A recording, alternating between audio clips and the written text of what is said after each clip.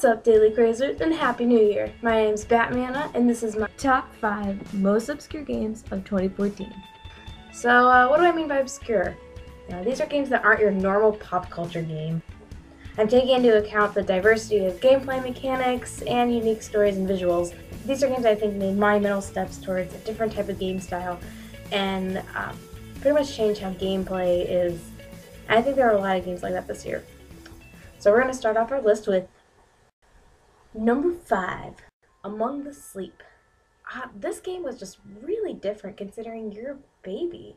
Um, there hasn't been any other gameplay that you are at the height of a you know toddler, and you're basically seeing the world through the eyes of this little baby.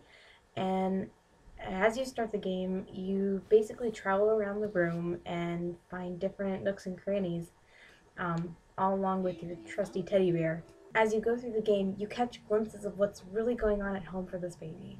You see what the baby is seeing, and the only way the baby can comprehend what is happening is by portraying different events as enemies in the game. So you're seeing personal demons pretty much. There are some scary parts, I'm not gonna lie. There's some creepy parts, um, but those are the demons that this kid can only comprehend um, I thought the ending was pretty shocking, and I didn't really see it coming, but I won't ruin it for you. You'll just have to go play it for yourself.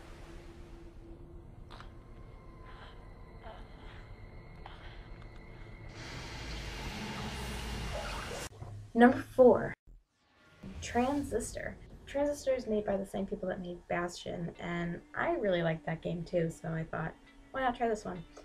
Uh, but it is such a beautiful game, character and story wise. The characters and the art style of this game is really, really pretty. I really liked it. The main character's name is Red, and she basically lost her voice because the government tried to kill her.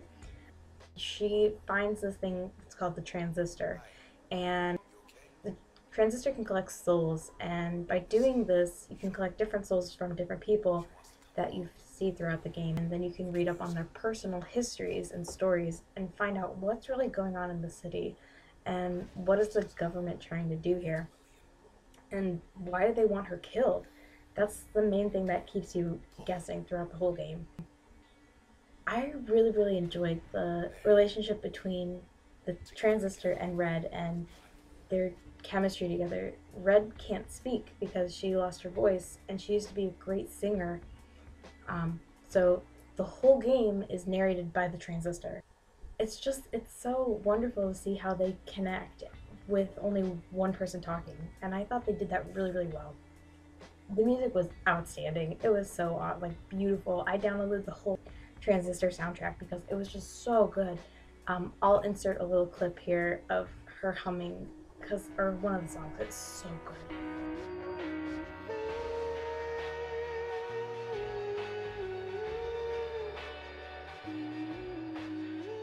The only problem I found with this game is the gameplay mechanic. Uh, it's kind of a turn-based style. It was kind of hard to maneuver and figure out where the enemies were because it was all turn-based. But, I mean, that was a good chunk of the game, and I thought it was okay. Not my favorite, though.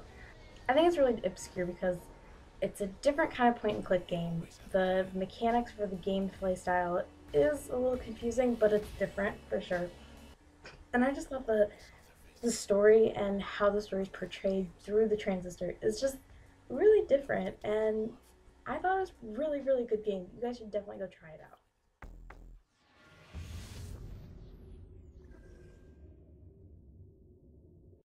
Number 3, Broken Age Act 1. It's a point and click adventure game and it has a fantastic story and really really good artwork. I, I thought this art style, it's cartoony but it's so pretty. The story of this is the obscure part. It's actually two different stories, and you can pick which one you want to play as first.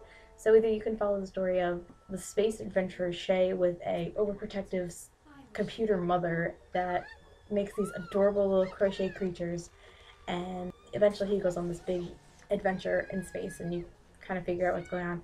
And then the other story is Vella, who is gonna be eaten by this monster called Mog And this is basically the first five minutes of the game, but she's gonna get eaten by this monster and don't know why. These two stories are so different, so unrelated. So why would they put these two stories in the same game? And you keep uh, questioning that, and you can switch back and forth throughout the game, but you keep asking yourself that like through while you're playing, why are these stories so important? The game leaves you with a massive cliffhanger at the end that I was just like, oh my, I, I just couldn't believe what was going on. I thought it was really, really, really neat. Thankfully, Act 2 is in the works and it will be released soon in 2015. And I am looking so forward to this. I want to figure out what's going to happen next. Look, there he is!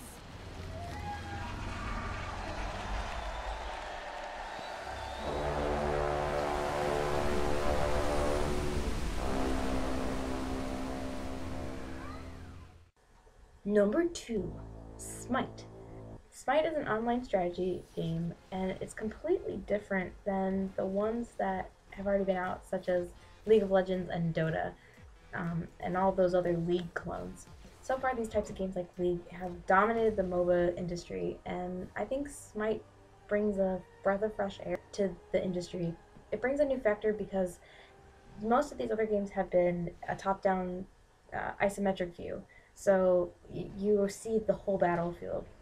While Smite is a third person point of view, and this small adjustment works really, really well, I thought. Having it be the third person view, you feel right in the middle of the action, and you have to literally look around to see different um, different enemies, and you use WASD to move around. Another really interesting thing about Smite, but I think makes it obscure, is it's all based on gods from different pantheons, like like Greek gods, Norse gods, Egyptian gods, etc. They're all different gods. The character design for these kind of gods are amazing. Like they're so detailed. Each of the gods have their own lore and you can read up on them and it kind of gives another side of history with this kind of game which I think is really interesting. Unlike League that they're made up characters and you have to kind of learn that world. Instead of being a fantasy, these things are actually real to people and um, you get to learn about different cultures and I just find that factor really, really cool. The only thing I found on the downside of this is some of the female characters are I I think they put more detail into the male characters than the female characters because a lot of the female characters look alike. And another thing is their voice acting. They use the same voice actors for a lot of the different characters, so they all kind of sound the same with different accents. But other than that, I thought this game was really, really cool, and I am a huge fan of uh, Greek mythology and Egyptian mythology.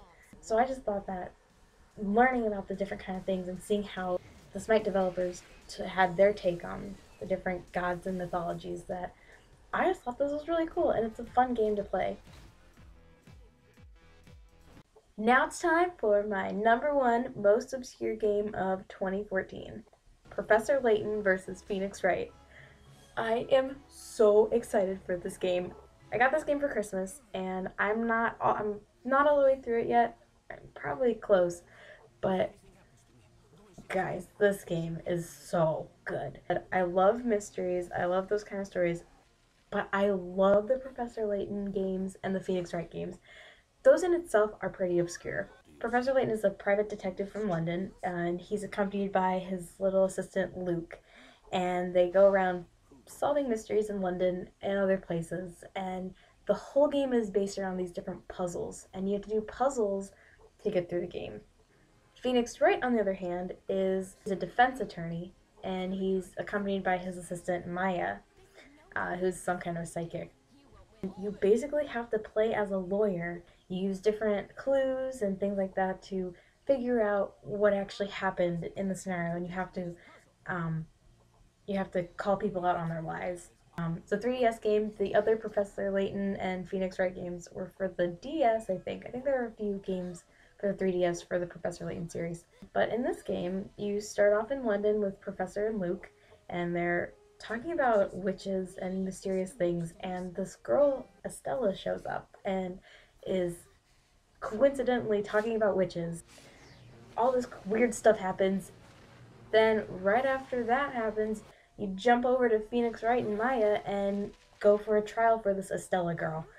Um, and you have to do this whole trial thing and figure that out. They both get transported to to this strange town called Labyrinthia, and they um, they meet in a different way. I don't want to spoil it, but guys, like it's just so obscure because when have you seen a game where a lawyer and a private detective are in the same game and you have to do puzzles and figure out mysteries? I love puzzle games and I love, you know, figuring out mysteries. So this is basically two in one. The humor in it is really good and um, I actually play it with my sister and we do all the voices and it's so bad, but it's a lot of fun. If you're like me and you've loved the Professor Layton and the Phoenix Wright series, this game is definitely for you. You need to try it because it's just so amazing. Like I can't even describe how cool it is.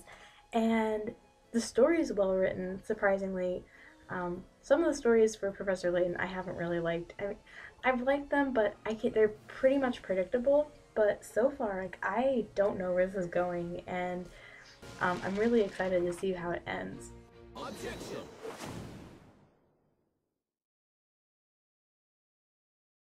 Okay, and that's it, guys. I hope you enjoyed this, and you know, let me know in the comments below what you think was your most obscure game from 2014 that you thought you played or that should have been on this list. Thank you for watching the Daily Craze.